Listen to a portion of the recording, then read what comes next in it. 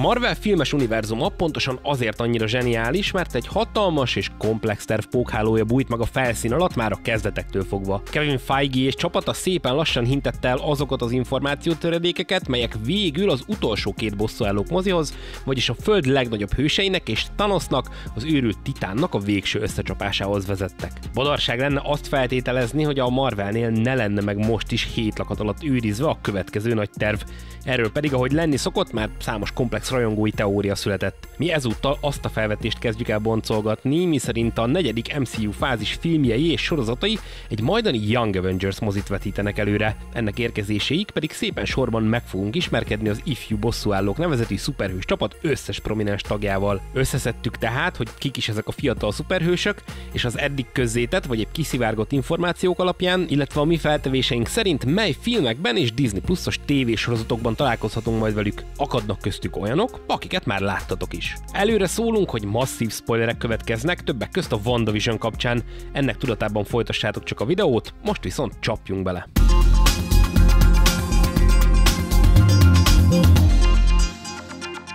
Első két versenyzőnket, illetve az ő fiatal verziójukat csupán nemrég ismerhettük meg az MCU-n belül is, hiszen Speed és Wiccan, azaz Tommy és Billy a WandaVision sorozatban is felbukkantak gyerekként. A két ifjú hős a Marvel képregényeiben is Wanda és Vízió gyermekeiként jelent meg először, lelküket viszont a pokol ura, Mephisto ragadta magához, ugyanis eredetileg az ő lélekszilánkjából lettek létrehozva az ikrek. Tommy és Billy lelkei azonban kiszabadultak, és két újszülött testébe költöztek, szóval az ikrek gyakorlatilag bár két külön családban, de ismételten megszülettek, Tínédzser korukban pedig az ifjú bosszúállók tagjaivá lettek. Vickan a csapat egyik alapítója volt, Speed a képregény sorozat tizedik számában csatlakozott a többiekhez. A WandaVision évad zárójában ugyebár elvileg eltűnik a teljes Hex, vagyis Wanda varázsvilága, így az általa kreált vízió és az ikrek is semmivé lesznek. A stáblistás jelenetben viszont azt láthattuk, hogy Wanda immár skarlátboszorkányként bújja a végtelenül gonosz varázskönyvet, a Darkholdot, közben pedig meghallja a gyermekei hangját. Azt már tudjuk, hogy Wanda Maximoff fontos szereplője lesz a 2020 2022 márciusában érkező Doctor Strange in the Multiverse of Madness filmnek is.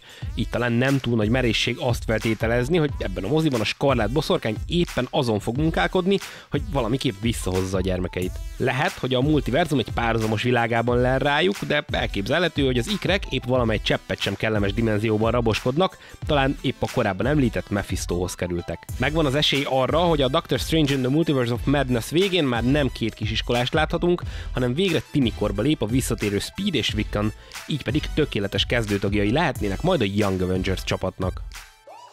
A Disney Plus sorozatos naptárában a WandaVision-t közvetlenül a The Falcon and the Winter Soldier követi. Egyes források szerint pedig ebben a szériában nem csak Sólyom, Bucky Barnes, Sharon Carter és Zemo Báró tér vissza, sőt, nem csak John F. Walker, az az US Agent debütál, hanem feltűnik Isaiah Bradley, az első fekete Amerika kapitány is. A képregényekben Isaiah Bradley azon 300 afroamerikai katona egyike volt, akiken kísérleti jelleggel kipróbálták a Project Rebirth szérumot, vagyis gyakorlatilag ők lettek annak a szuperkatona programnak a kísérleti nyulai, ami megpróbálta újraalkotni azt a szérumot, ami Steve Rogers-t is emberfeletti erővel ruházta fel. A legtöbb kísérleti alany meghalt, a kevés túlélő viszont szupererővel bírt. Bradley a második világháború alatt német fogságba esett, ahonnan kiszabadult, de Amerikában inkább eltakarították őt az útból, életfogytiglani börtönbüntetésre ítélték. Végül 17 év után szabadult, Eisenhower adott neki elnöki kegyelmet. Számunkra azonban most Isaiah Bradley unokája, Elijah Bradley lesz kiemelten fontos, aki transfúziót kapott a nagyapjától, a vérátömlesztésnek köszönhetően pedig ő is Amerika kapitányéhoz hasonló képességekre tett szert, Patriot néven vált az ifjú bosszúállók alapító tagjává. A The Falcon and the Winter Soldier esetében az évad záró stáblistás jelenetében tudnánk elképzelni azt, hogy a fiatal Elijah megtalálja a nagyapja pajzsát, és rájön, milyen örökséggel rendelkezik. Egyáltalán nem biztos, hogy Kid Loki is tagja lesz az MCU-s Young Avengers csapatnak, de amilyen elborultnak tűnik, a szó lehető legjobb értelmében véve a 2021. június 11-én elstartoló Disney Plus-os Loki sorozat simán benne van a pakliban, hogy épp itt debütál az a karakter, aki később akár még az ifjú bosszúállók filmben is fontos szerephez juthat. Kid Loki a Young Avengers képregény sorozat második szériájának első számában csatlakozott a csapathoz. Loki a Marvel fizeteiben több alkalommal is meghalt és feltámadt már, volt például, amikor nőként született újjá. Egy esetben pedig egy kisfiúként, ő volt Kid Loki, aki csak ideglenesen állt az ifjú hősök mellé. A második Young Avengers képregény sorozat 15. számában elhagyta a csapatot, miután Wiccan öregít rajta egy keveset, és fiatal felnőtté változtatja őt. Hiába közeledik a premier, egyelőre még csak nagyon keveset tudunk a Loki tévésorozatról, de az már az első előzetes alapján is bizonyos, hogy itt is a párhuzamos univerzumokon és idősíkokon lesz a hangsúly, hiszen feltűnt a trailerben a Time Variance Authority nevezetű szervezet logója, illetve központja is. Soha vissza nem térő alkalom lehet ez a sorozat arra, hogy Kid Loki végre az MCU-n belül is megmutathassa magát, később pedig akár a Young Avengers moziban is feltűnhessen. A feltételezések és teóriák után most végre egy kicsit a konkrétumokról is beszélhetünk.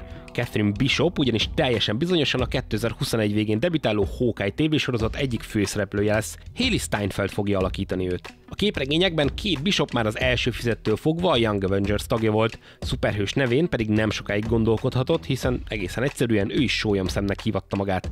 Fontos megjegyezni, hogy az eredeti sólyomszem Clint Barton ekkor halott volt a Marvel képregényeiben, így nem volt annyira zavaró a névegyezés. A füzetekben persze egy halál sem végleges, így Clint később visszatért, sőt épp ő lett az új, fiatal sólyomszem egyik mentora. Valami hasonlóra számíthatunk a Hawkeye sorozatban is, mármint Clint Barton itt is szárnyai alá veszi és kiképzi az ifjú két Bishopot.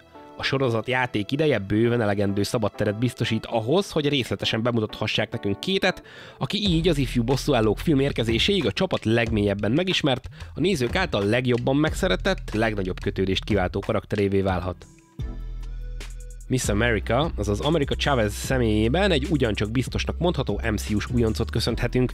Vele először a korábban már említett 2022-es Doctor Strange in the Multiverse of Madness filmben találkozhatunk majd. Itt Sochi Gomez alakítja majd a fiatal hősnőt. A Marvel képregényeiben America Chavez egy különleges helyen, az időn és téren kívüli Utopian Parallel nevezetű realitásban nevelkedett édesanyjaival. A kis America még csak 6 éves volt, mikor a Utopian Parallel a pusztulás fenyegette édesanyjai feláldozták magukat, hogy megmentsék ezt a világot. Nem lenne jó most mélyebben belemenni, mert elég kusza már így is Miss America eredet története, de a lényeg nagyjából annyi, hogy egy Demiurge nevezetű mágikus entitás jelenlétének köszönhetően America Chavez szuperképességekre tett szert, majd elkezdett utazni a multiverzum különböző világaiban és valóságaiban, végül pedig az ismert Marvel hősök között kötött ki, immár Miss America néven. Kid Lokihoz hasonlóan ő is a második Young Avengers képregény sorozat első számában csatlakozott az ifjú bosszúállókhoz.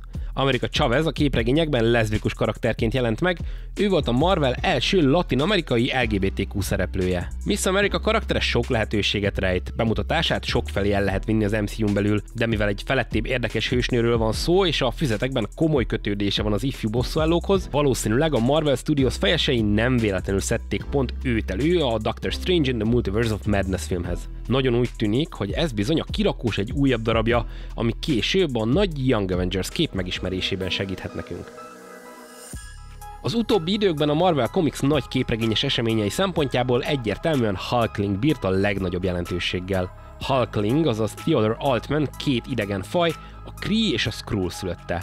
Anyja nem más volt, mint Anel Skrull hercegnő, apja pedig a Kree szuperhős, az első Marvel kapitány, vagyis Marvel. Születése után anyja utasítására a szolgálók egyből a földre vitték a gyermeket, mivel a hercegnő attól tartott, nem lenne a fia biztonságban sem a Kriektől, sem pedig a Skrulloktól. Bolygónkon elvileg az apjához kellett volna elhozni a kicsit, de kiderült, hogy Marvel kapitány időközben meghalt.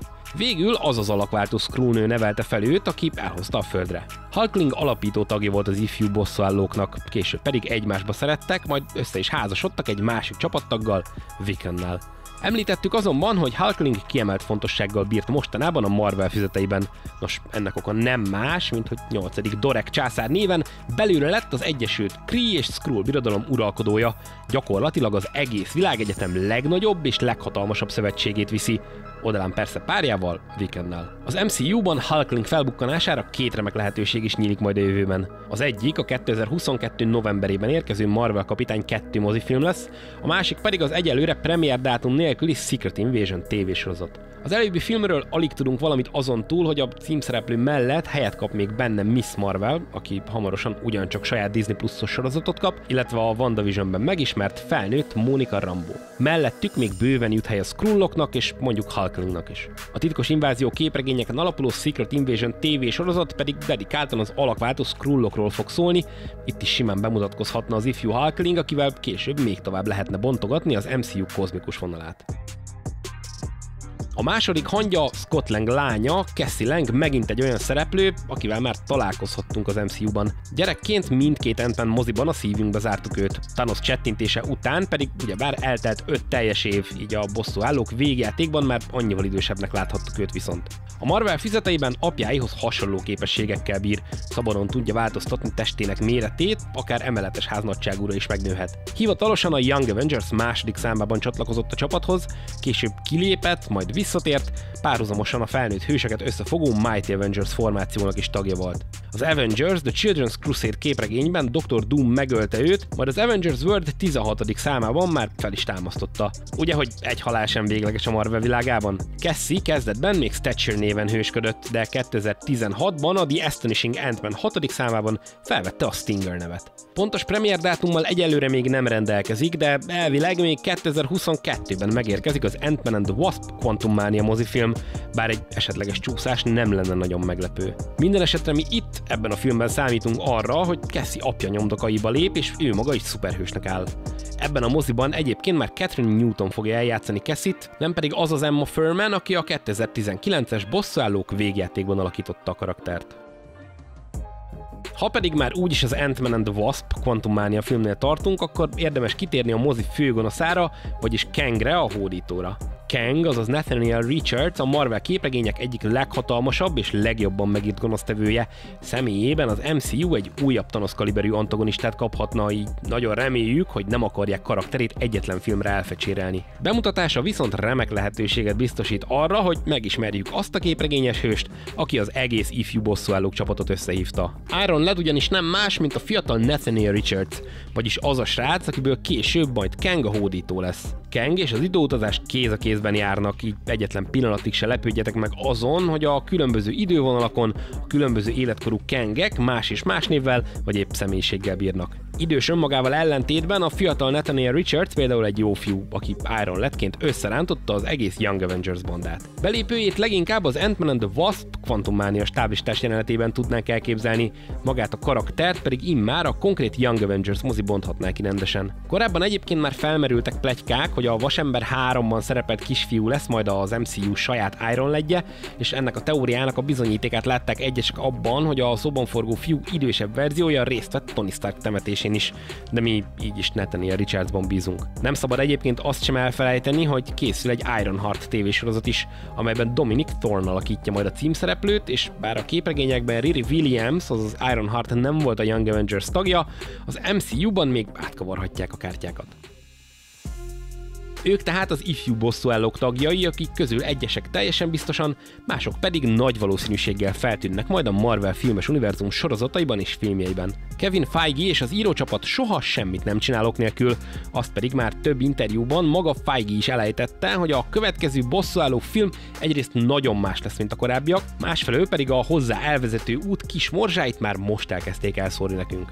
A Young Avengers képregények kifejezetten jónak számítottak, a bennük megismert fiatal hőseket pedig azóta számos nagyszabású Marvel Comics képregényes eseményében láthattuk, akár kulcsfontosságú szerepekben is. Mindannyian hozzájárulhatnak ahhoz, hogy tovább bővüljön, színesedjen az MCU, pár év múlva pedig visszatérhetünk arra, hogy igazunk volt a mostani okfejtésünkben, és végül tényleg a mozivászton fújnak egy gyülekezőt az ifjú bosszúállók. Addig azonban, ha tetszett nektek ez a magyarázó videónk, akkor dobjatok rá egy lájkot, ha pedig a jövőben sem akartok lemaradni a legfrissebb tartalmainkról, akkor iratkozzatok fel, illetve használjátok a csatornatagság funkciót. Utóbbiról minden tudnivaló ott van a leírásban. Hamarosan újra találkozunk, addig is vigyázzatok magatokra. Sziasztok!